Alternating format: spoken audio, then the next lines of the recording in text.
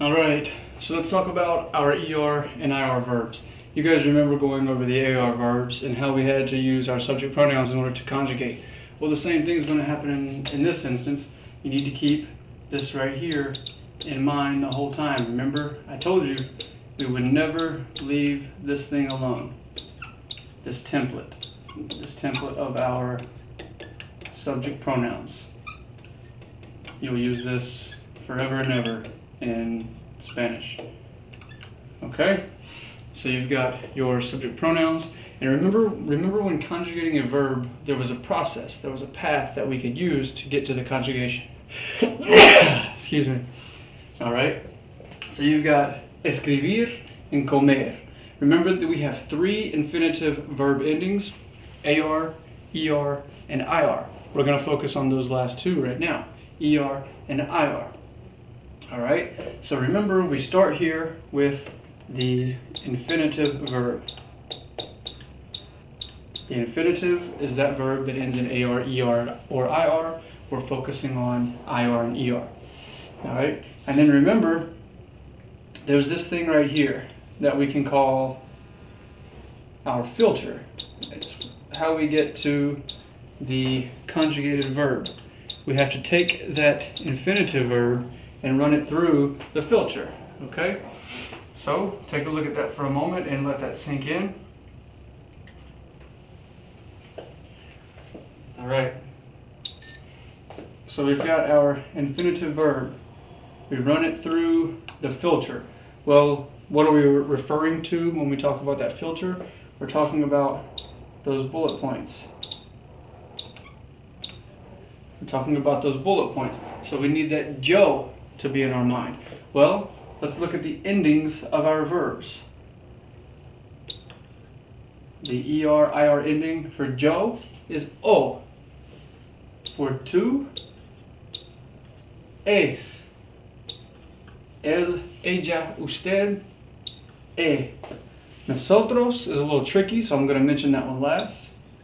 Ellos, ellas, ustedes, en. Now, for nosotros, if it is an ER verb, if it is an ER verb, our ending is emos. If it is an IR verb, our ending is imos. Pronunciation really a key there. Emos, imos. All right? So we take escribir. What do you think is going to be our first conjugation of escribir? Well, here is our filter. Here is our filter. So what do you think the first conjugation of of escribir is going to be over here? Well, if you guessed escribo, you were right. You were right. All right. The tú form of escribir will become escribes. The el ella, usted form will be escribe, escribe. The nosotros form escribimos. Remember, IR verb, it's imos. And then the ellos, ellas, ustedes form will be escriben. Very good. So that was one conjugated verb, comer. What do you think it will be? It'll be como, comes, come. What about this one? Right. Comemos and comen. Okay, so what did we do to get to this point? Well, let's look at both of these verbs.